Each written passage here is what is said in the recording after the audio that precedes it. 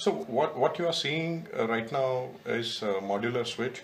Uh, switches nowadays are uh, very commonly called uh, modular switch. Uh, this is a switchboard and uh, all these parts, so this cover plate, switches, these sockets, these are all separate parts and like a modular system, the all parts are separate and you can replace them as and when required.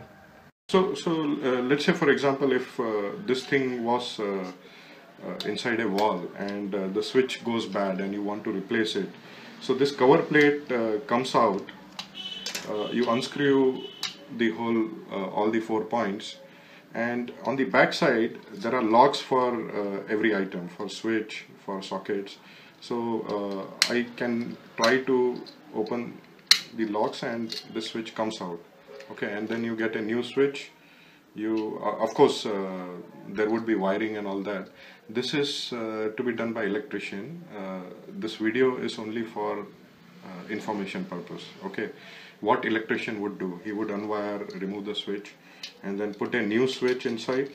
Again uh, he would take care of the locks and the, it goes inside wire he will electrician will wire the switch uh, screw back the whole thing into the wall and the plate goes on the top again. It will get locked as well.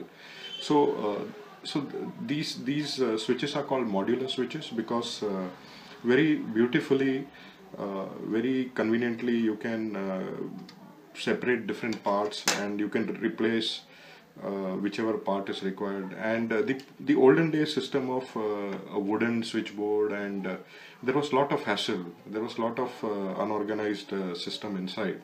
But modular switches makes everything very neat and clean and very easy to maintain. This is Nitin from contractorbhai.com